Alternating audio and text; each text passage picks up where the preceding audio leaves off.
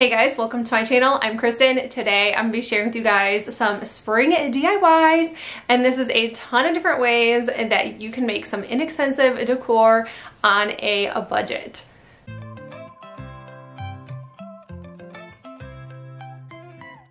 I do want to thank Creative Fabrica for sponsoring today's video. I Never knew about this website until recently and I am so excited that I did. So I'm going to share with you guys ways that you can get some good use out of this website. Also, they did give me a coupon code so you guys will get one month free of their all access subscription and I will tell you guys a little bit about that in a second, but let's get into the video. So this is what Creative Fabrica's website looks like. As soon as it comes up, you will have recommendations for you.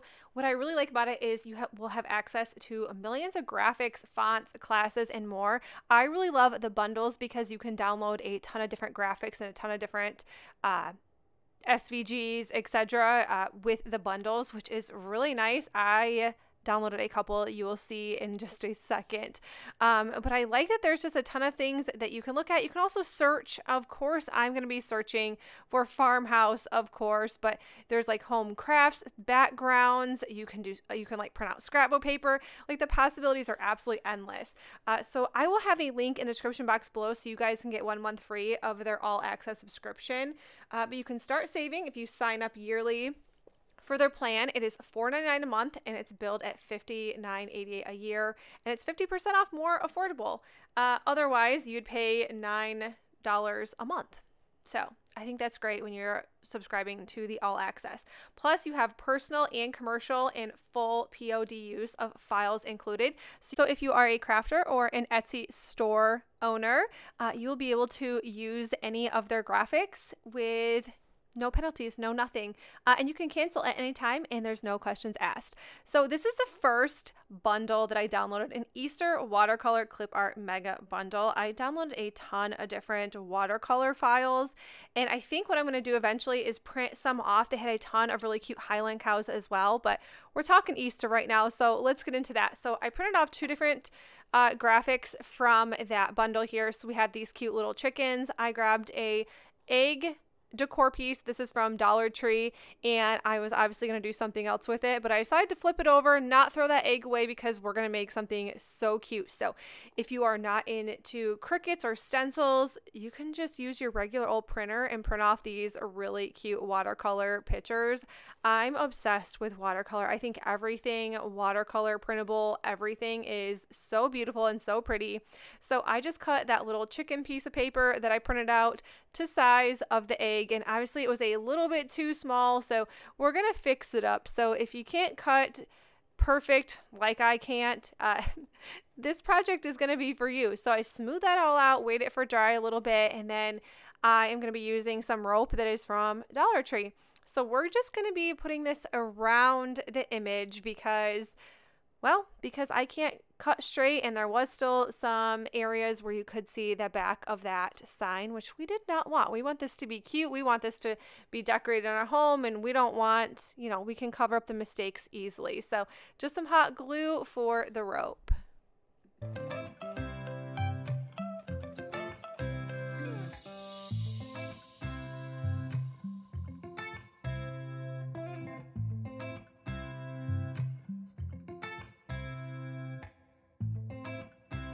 End there with a rope, but I decided to add some florals. Now, I've had these roses since last year, spring. These were either from Walmart or Dollar Tree or Dollar General. I don't shop at too many places for florals. Those are, I think, the only places that I do. And I'm just holding them down because they kind of kept falling off, but I wanted this to be a big, fun, group of roses and florals so that's why go big or go home and then I just cut some eucalyptus down and this is from Walmart I love these little eucalyptus leaves. I think they are so pretty. And I just kind of glued them all around just to, you know, to make it look like it is supposed to be there. But I think this turned out adorable. I love these three little chicks. They are so cute. They are adorable for spring and Easter. So I think this is a really cute piece. And then I just attached some twine to the back side later on to hang it up.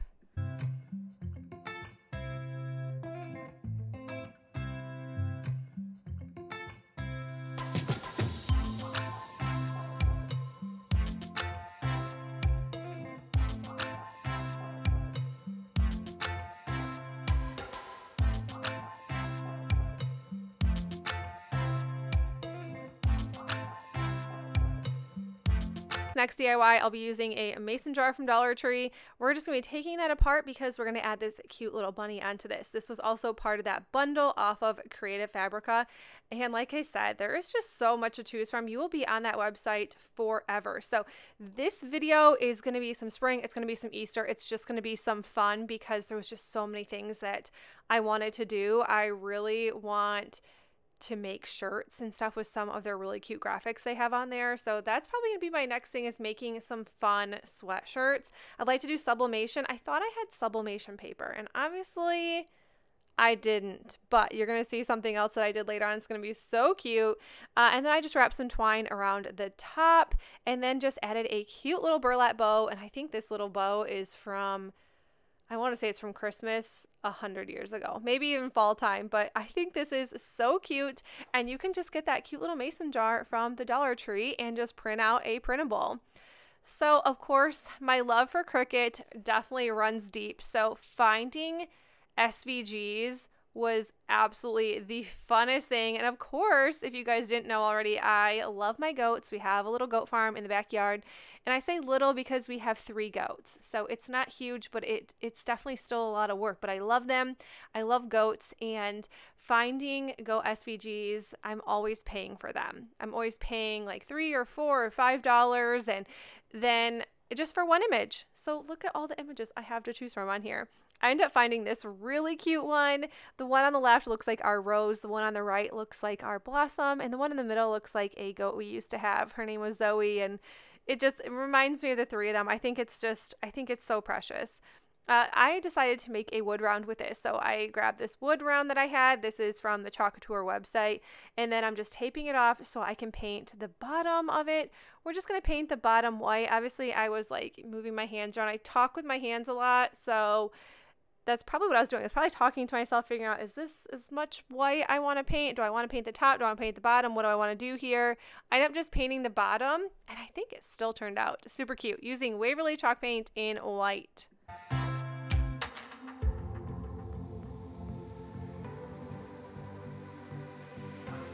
So once my SVG was cut, weeded, it is good to go now. So I just threw some transfer tape over the top. This is just good old Cricut transfer tape. And I I was so excited to find this. Usually you can find SVGs like this with dogs, which I did also download an SVG like this from the website. It had like a cow, a pig, all of them hanging like this. So if you have different animals, you will be able to find different SVGs for your specific animal. I think that is super cool. So I just laid this down on my white line. Of course, perfection at its finest sometimes. Uh, sometimes I can be in a rush when I craft, but this is going to go on my front door. So this this is pretty special. Uh, I might later add on something to the bottom, but I already put my Cricut away. So um, you're not going to see that again. But anyways, pulling this off very slowly, there was this was pretty tedious because there is some really small areas, but it was definitely worth it.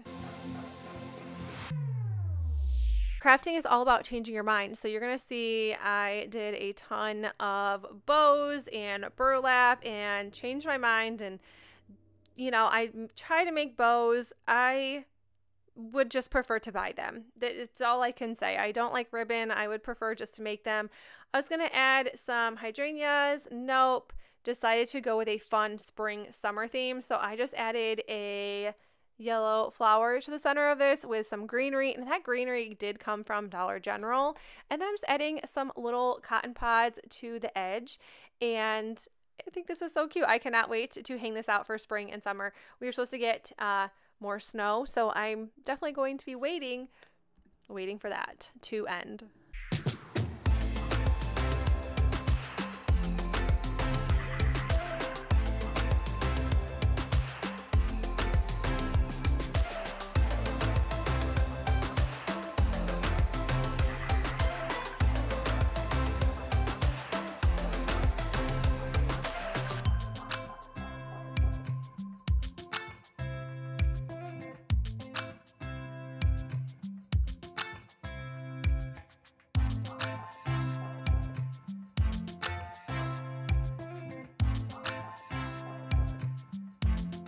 Did want something on top of this. I wanted to say something. I was going to do welcome to our goat farm, uh, but like I said, I didn't want to get my Cricut back out. I was sometimes I like I have a love hate relationship with the Cricut. Love my Cricut. But then when I put everything away, I don't want to get anything back out, if that makes sense. So I'm using a Chalk Couture Silkscreen Transfer. I love this. This says welcome ish. Uh, I decided just to use that welcome part and I think this turned out adorable. I can't, like I said, I cannot wait for this. I was just I'm over the moon, super excited to find a goat SVG that I truly, truly love. That doesn't say crazy goat lady, because trust me, I have plenty of those SVGs.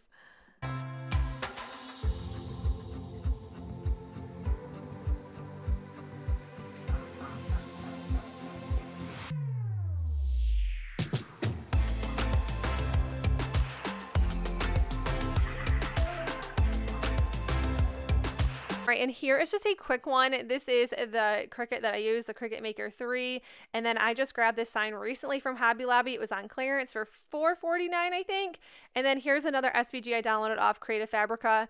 It says Cottontail Farms, bunnies, carrots, chocolate. I thought this one was cute. I just added it to the center of this sign. And that is all I did for this one. I just wanted this to be super simple. I love the good old black, white, wood type colors or photos or pictures. I think they just look pretty and you can add color to them. I think this is just simple and super pretty.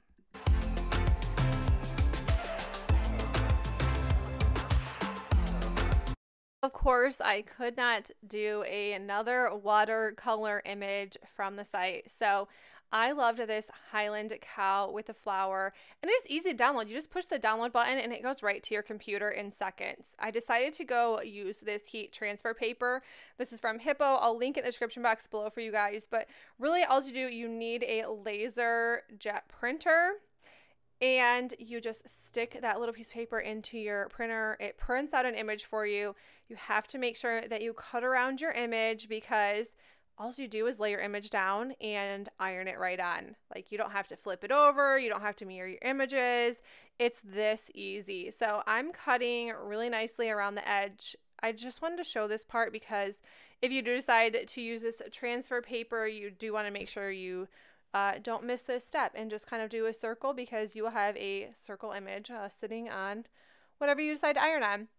So the cool thing is, once this image is cut out, you actually just peel your image away from the backing and lay it flat on whatever you're going to be ironing on. I have this canvas bag here. This was from the Target Dollar Spot.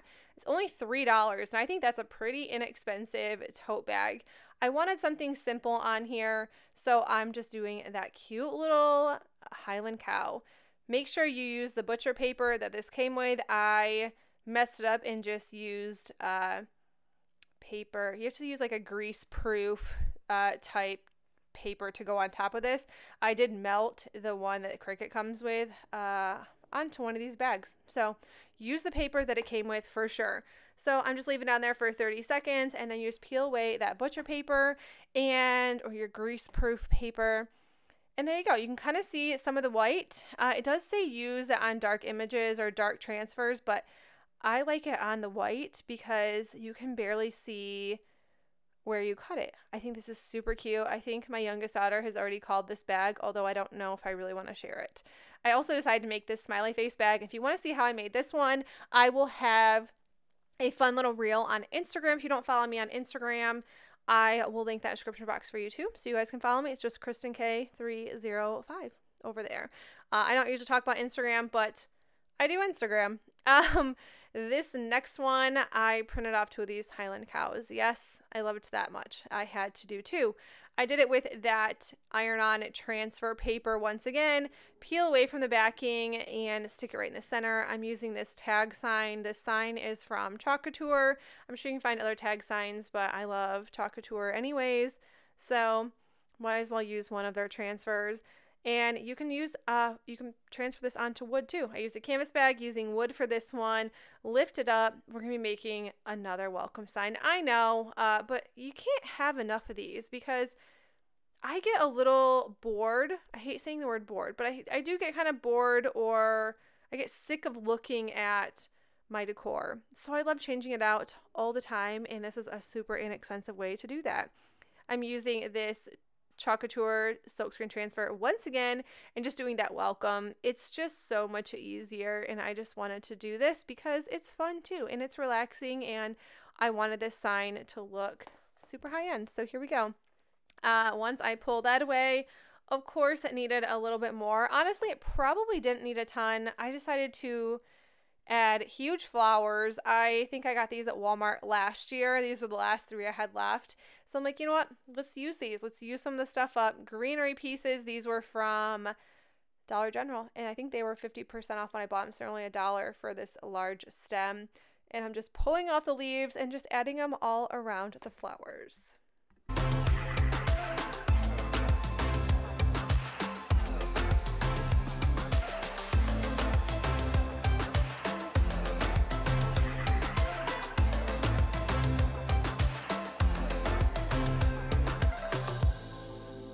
Guys, that is it for the video. I hope you enjoyed it. If you did, please make sure you give this video a thumbs up. And if you are new to my channel, I would love if you consider sticking around and subscribing.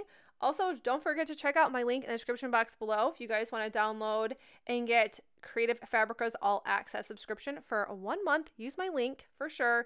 And then after that, it is just $4.99 a month or build at $59.88 per year that is it for the video. I will see you all in the next one. Bye.